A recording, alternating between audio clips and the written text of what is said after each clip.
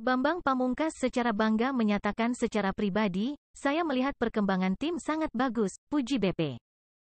BP sendiri mengaku sempat khawatir terhadap sejumlah tuntutan agar SIN diganti. Jika SIN diganti, program timnas harus mulai dari nol lagi. BP pun menyebut bahwa kerapnya pergantian nahoda di tubuh timnas Indonesia bukan hal yang baik. Hal tersebut justru menjadikan Indonesia tidak pernah punya pola yang tepat dan itu pengalaman saya selama 13 tahun. Saharu Justin Hubner rela kehilangan sejumlah keistimewaan demi memperkuat timnas Indonesia. Hubner sendiri saat ini menjadi salah satu andalan pelatih Shin Tae-yong di lini belakang skuad Garuda. Keputusan Justin Hubner untuk bermain bersama timnas Indonesia jelas tidak mudah. Proses naturalisasi membuat pemain Wolverhampton Wanderers itu harus melepas paspor Belanda miliknya. Artinya, Justin Hubner harus kehilangan privilege yang ia dapatkan saat masih menjadi warga negara Belanda. Atau dengan kata lain Hubner saat ini menjadi orang asing di negara kelahirannya sendiri.